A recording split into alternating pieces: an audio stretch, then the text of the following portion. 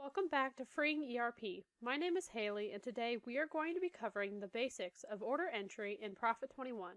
In this video, I'm going to discuss how to navigate to the order entry window in P21 and how to enter a new order.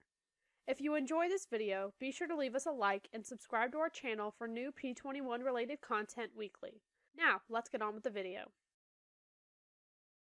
In order to navigate to order entry, you'll first want to open the Orders module and navigate to the Order Processing submodule.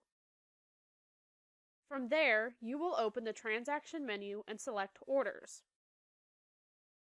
You can also go to the search bar at the bottom of the navigation menu and search for Orders and double click on the result that reads Orders, Order Entry. When you open Order Entry, the first field you'll see is the order number field. Because we are entering a new order, you'll want to leave this field blank. P21 is going to auto-sign an order number to the order after we save it. Next, we have the Customer ID field. Enter your customer ID or double-click in the field to search for the customer ID you need. You can double-click in most fields to search for what you're looking for.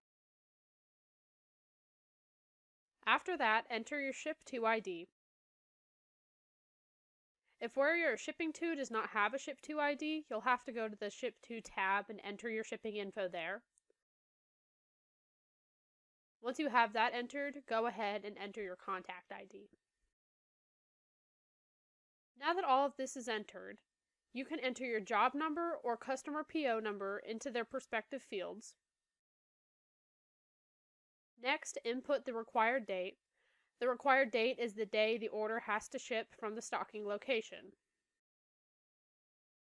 If you have one, you can also enter your contract number. Below contract number is the quote checkbox. Whether or not this box is already selected depends on P21's user maintenance settings. If this box is checked, P21 will generate a quote instead of an order.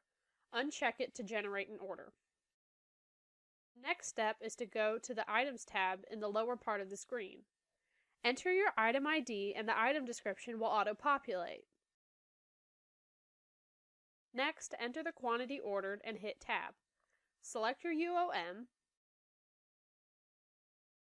then hit Enter until P21 moves to the next item line.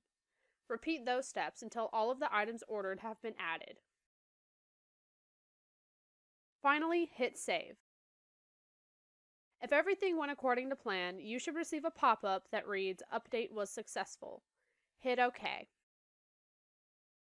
Thanks for watching today's video on order entry. If you have any questions, be sure to leave us a comment. All of the timestamps for what we discussed in this video can be found in the description box. Before you go, make sure to subscribe to our YouTube channel. We post new videos every Tuesday. And leave a like on the video if you found it helpful.